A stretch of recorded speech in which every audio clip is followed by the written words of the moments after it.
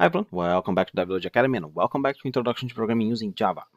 Continuing the journey, now we are going to talk about something uh, a little bit more advanced. In the end, all of this is very basic, but this is a little bit more advanced than just if and else. But I'm saying that you guys are doing a pretty good job. You know a lot of content, you know if statements, you know how to declare variables, you know like switch statements, you know how to get data from the keyboard. So if you put everything together, it's a lot content that you already know. Now, what is that we are going to learn? Basically, we are going to learn uh, how to tell the computer to do something several times. Okay, so let's imagine that you would like the computer to count to 1 to 10. So how, how do you do that? How do you go and say, hey, computer, I would like you to keep doing this forever. I would like you to print the same number forever. Because right now, every time we execute, the computer starts executing and then it suddenly stops. But how can we actually tell, hey, I would like you to keep doing something for me? So while this is true, just keep doing. And this is what we are going to do. This is called loops. Basically, loops, you have different type of loops. Uh, in Java, you have while, while, you have force, and a little bit uh, one's more specific that we're going to learn in the Java one for all. But uh, what are we going to, to do here? Uh, we're going to create a new package first.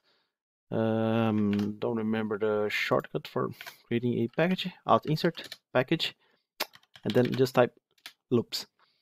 And then uh, let's create here a class, a Java class, and let's call while 01 because this is the topic that we are going to talk about, the while.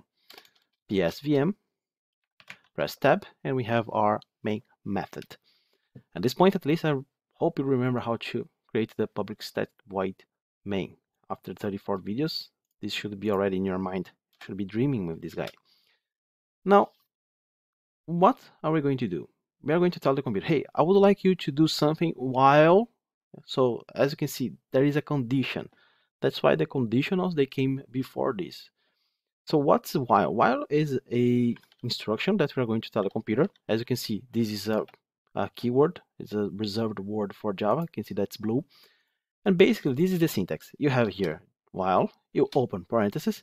Here it comes the instruction. The same way as you did for if, the result of whatever you're doing here should be either true or false. If you add something that's not either true or false, you are going to get a compilation error. Your program will not be executed. It will not be compiled. So this is the block that we need. So basically, I'm telling you, hey, while you have this condition uh, evaluated to true, so for example, let's start very simple. While true, sout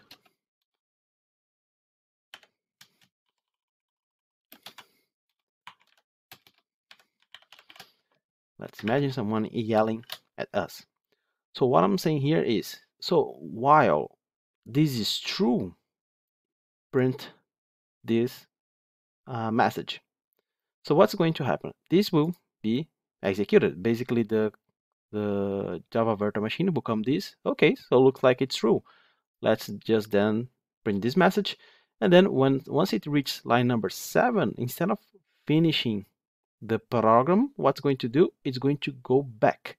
So from line 7, it's going to go back to line 5 and do the process all over again. Hey, while it's true, so this is going to keep going because true is not changing. So let's see what happens if I press Ctrl Shift F10. So as you can see, the program will keep running forever. Why? Because the condition is not changing. So every time here, they are going back and keeping asking the same questions while true, while true, while true. How do we stop? You can either click here or press Ctrl F2. Okay, William, so basically you are saying that I have to do a conditional here. Yeah, we have to do a conditional. You know how to do conditionals. So let's say that we want them to count, uh, we want them to print like the message 10 times.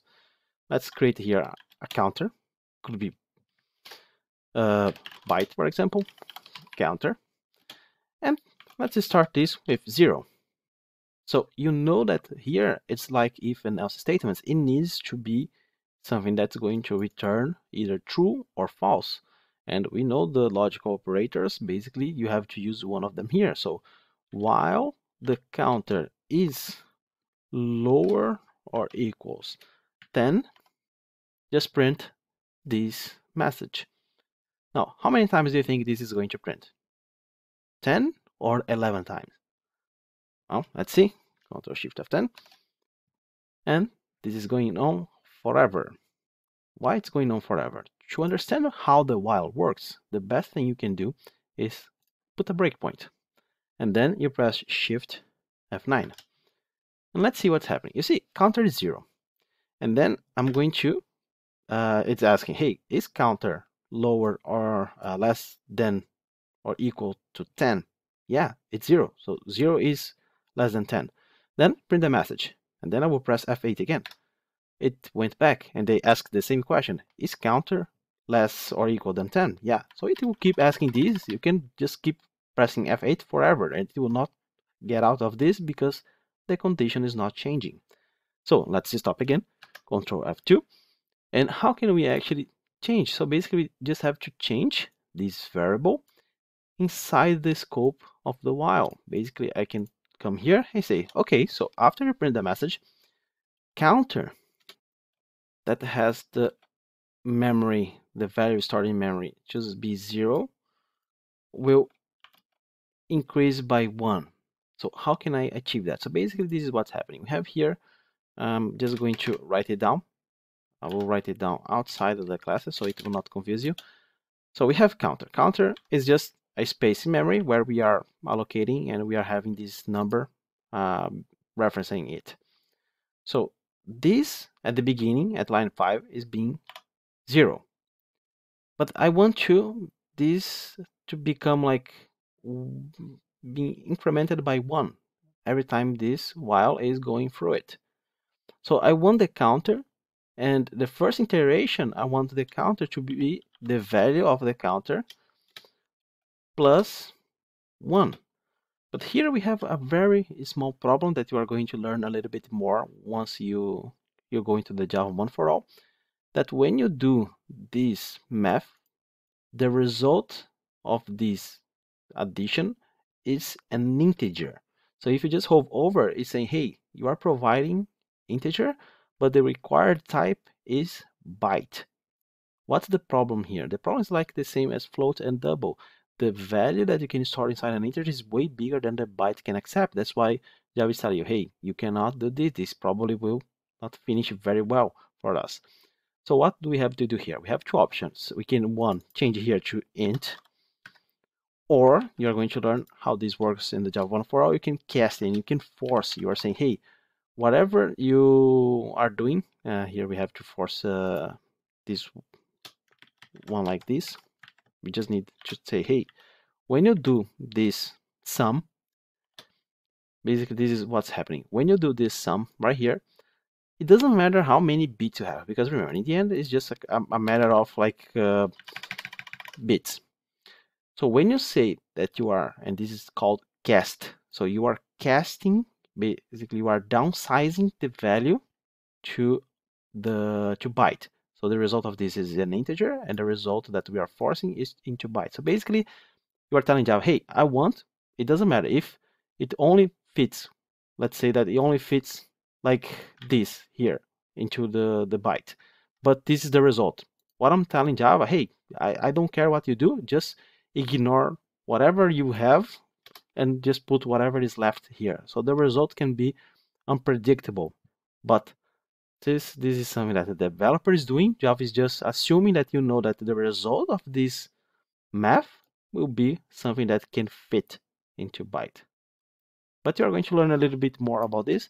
So you can either leave like this or to not get things more complicated because we are talking about while, we can just move this to integer and then we just leave like this. So let's leave it like this and let's go back. So the first iteration, counter is zero. 0 is uh, less than 10? Yes. Print this message. And now I want the space in memory uh, for counter to be the value that I have in the memory plus 1. So basically you're saying, hey, this space now will be what?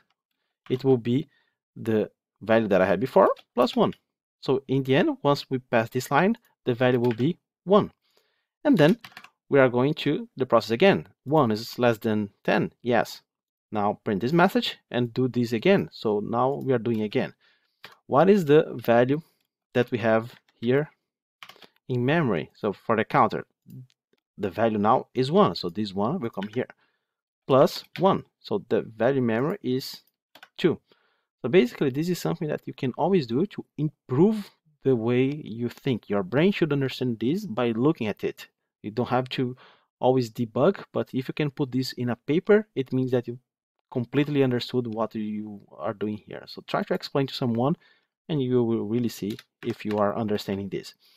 And then the next one is going to do exactly the, the same thing. What's going to do here? Hey, now I want the counter plus one. 2 plus 1, and so on. So it will keep all the way and checking until it's 10. So let's execute again, Control uh, Shift F10. And you are going to see here that we actually are getting 11 times. So you can add here, for example, counter plus, so you can see the number. Control Shift F10. So as you can see, the number is, is 0 and going all the way to 10. It means that we have 11 times. To fix this, we can say lower uh, less than 10 not less or equal than 10 and then you have from 0 to 9 10 shift F9 now we can debug and we are going to see the counter changing. So counter is 0 F8 print the message. You see counter is 0 then 1 1 is uh, less than 10 yes. So it will keep going keep it going keep it going keep it going keep it going. And then we have 9 okay. And then 9 is less than 10 yes so execute this and then do the math again. Counter will be 10 10 is less than 10 no it's equal than 10 so this is false. So if it's false it's just going to finish the program.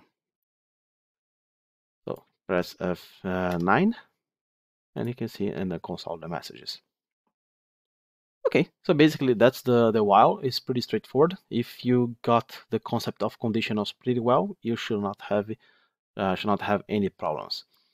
Let's continue with more whiles in the next video. Bye bye.